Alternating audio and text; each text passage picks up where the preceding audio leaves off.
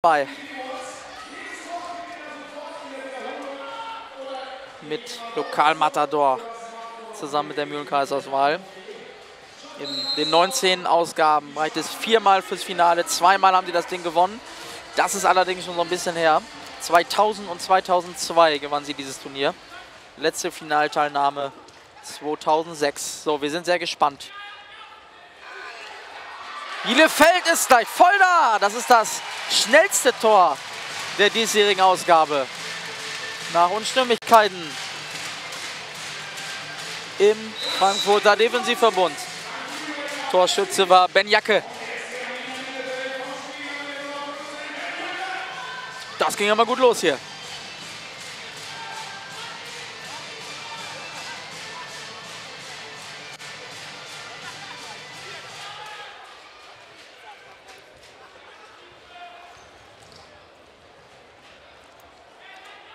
Arminia Bielefeld in der Landesliga aktiv, also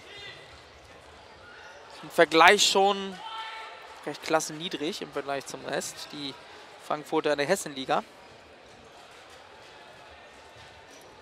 Dürfte ungefähr, man kann das nicht 21 übertragen, vergleichbar sein hier in Westfalen mit der Westfalenliga.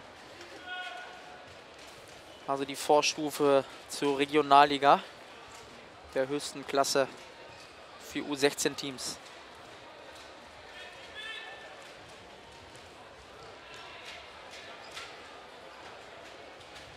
Bielefelder da nur auf einem achten Platz in der Landesliga. Zwölf Punkte, gerade mal aus elf Spielen geholt.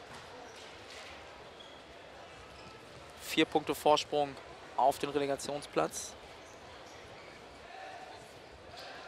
Spielen in einer Liga mit dem SV Eidinghausen-Werste, die natürlich einen recht großen Block bei der Mühlenkreisauswahl stellen, die wir auch noch später sehen, während hier fast der Ausgleich fällt. Während jetzt der Ausgleich fällt, das hat ein bisschen gedauert, aber zum dritten.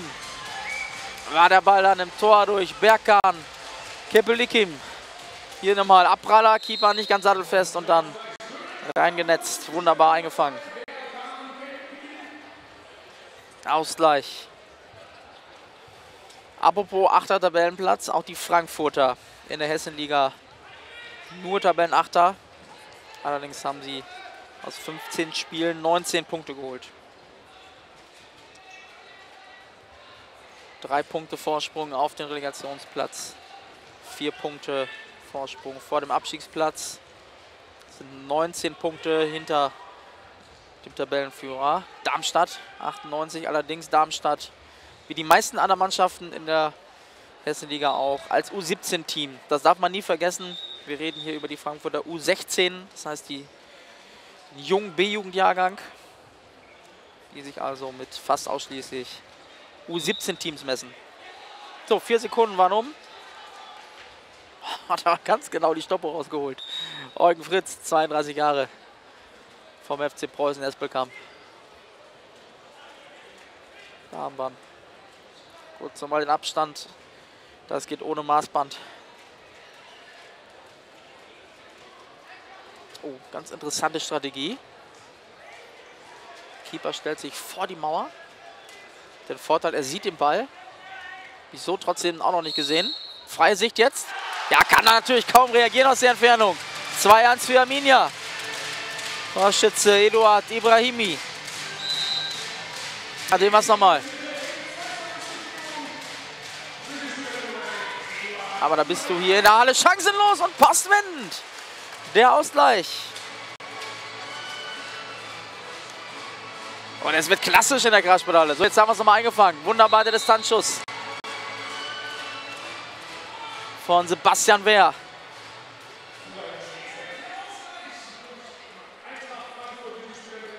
Mit Danny Luis, Gedächtnisfrisur.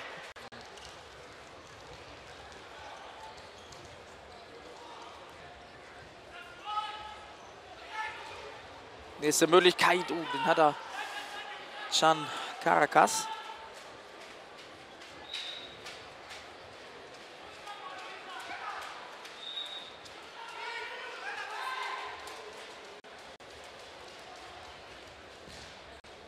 Also vier Tore in den ersten Minuten. Das geht auch richtig munter los.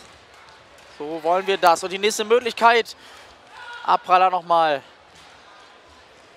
Bielefelder ja im Vorjahr hier mit einem riesen Erfolg so bis ins Halbfinale eingezogen. Hatten für mich einen der, wenn nicht sogar den besten Spieler des Turniers dabei. Hatten die Halle hier voll auf ihrer Seite. Wenn hier ein Underdog die Großen aus dem Turnier haut, war das natürlich für die Stürmung sensationell.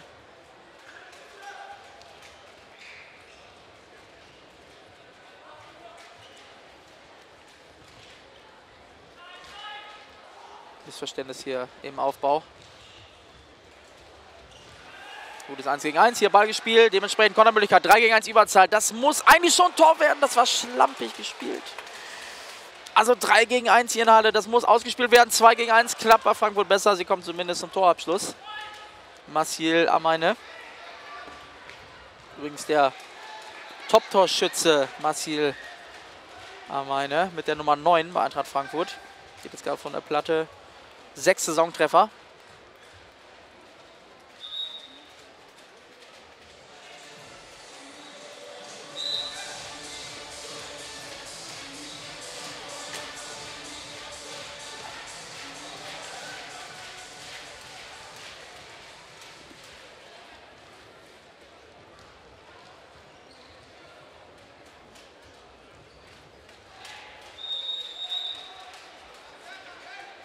Freistoß für die Arminen.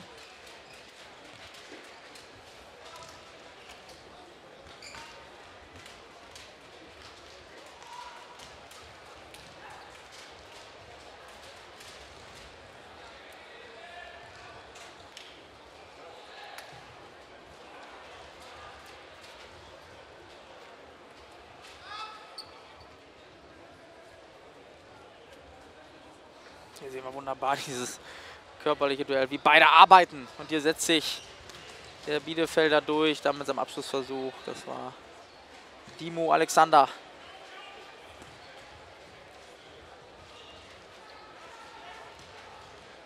Klasse Abschluss!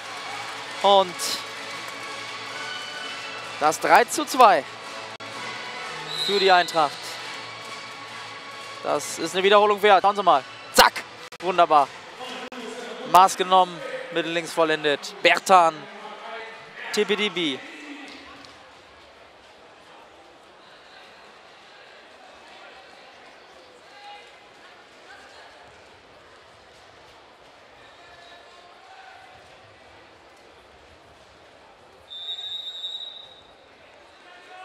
Wieder Freistoß für die Frankfurter.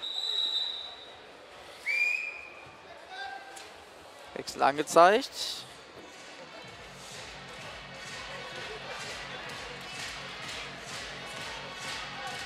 Clever gewechselt hier vom Trainer Anwar Dau, 38 Jahre jung, Deutsch-Marokkaner. Seit 1.7.2014 bei Eintracht Frankfurt, also schon eine lange Zeit. Das ist noch ein bisschen Bedarf für Regelkunde. Aber kriegen wir alles gelöst hier. Eugen Fritz ganz entspannt. Oh, der Doppelpass mit der Bande ging schief. Ich glaube, da eine Ex-Freundin im Publikum saß, so wie er den über die Tribüne gehauen hat. Das kriegt er technisch besser hin.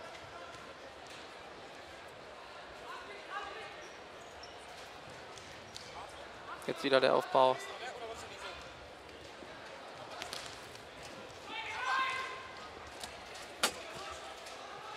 So, Frankfurt kontert wieder klasse gespielt eigentlich, aber Bielefeld passt in dem Moment wunderbar auf. Nächster Freistoß Pfiff. Vier Minuten vor dem Ende. Noch alles drin in dieser Partie.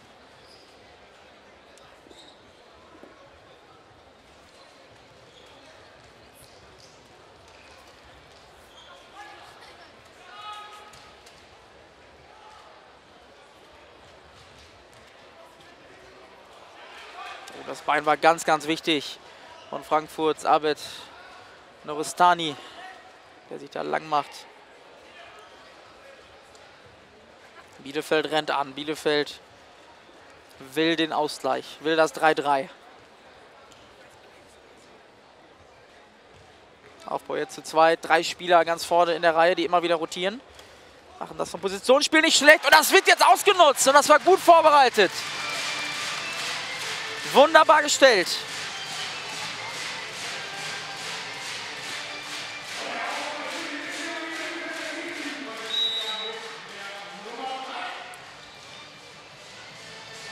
Spieler taucht leider noch nicht auf unserer Liste auf, sodass wir den Torschützen noch als unbekannt verzogen angehen müssen. So, Bielefeld jetzt mit diesem mutigen Zweieraufbau. Torwart und Spieler bauen auf und die drei Spieler sind immer wieder am Ruschieren, immer wieder am Position wechseln. Super eklig zu verteidigen. Jetzt wieder klasse zurückgelegt. Also Bielefeld hat sich vorbereitet hier, das merkt man.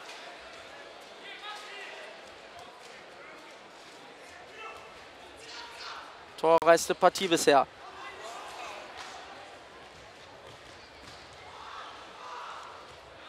Oh, den kriegen sie nicht richtig geklärt. Jetzt die Kontermöglichkeit für die Eintracht. Aber gut aufgepasst von Benjamin Nisic. Bielefelds Nummer 5.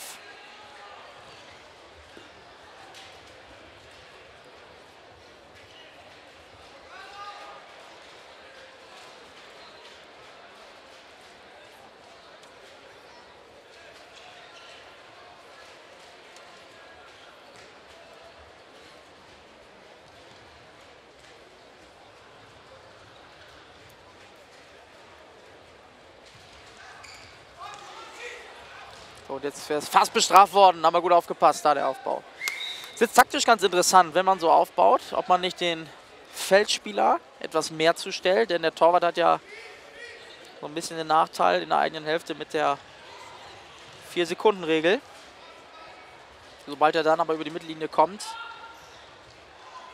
entfällt diese. Gibt es aber sicherlich die eine oder andere taktische Variante, so ein Zweieraufbau erheblich zu stören. Das war jetzt gut gespielt. Nochmal Platz. Wunderbar pariert und gehalten von Arne Schulz. Letzte Minute läuft. War ein tolles Spiel, bevor es hier nochmal richtig heiß läuft. Was wir gesehen haben von beiden Mannschaften. Sechs Tore, viele offensive Aktionen, hat großen Spaß gemacht.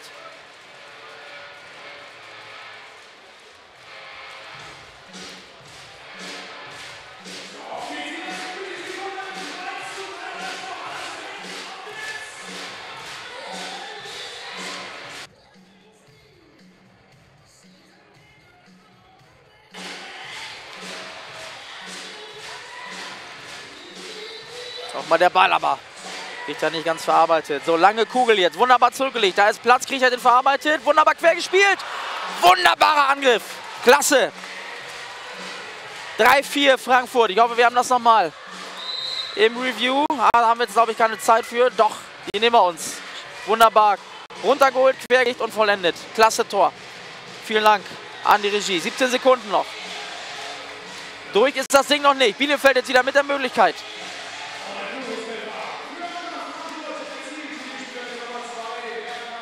Konventionell geklärt. Wir haben noch fünf Sekunden auf der Uhr. Uhr ist angehalten. So, ein Pass ins Feld und dann muss der Abschluss erfolgen.